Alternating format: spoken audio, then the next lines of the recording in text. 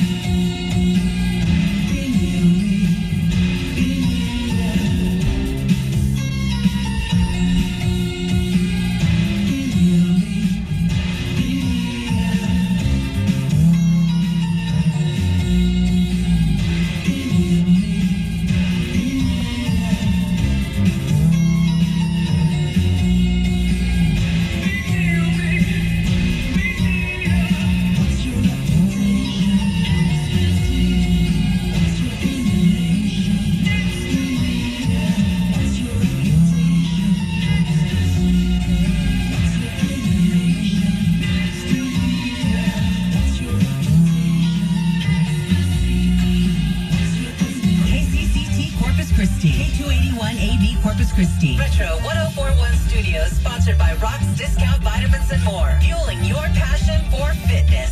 More music, more fun. This is Retro 1041. Retro 1041. We're JJ Fad and we're here to rock.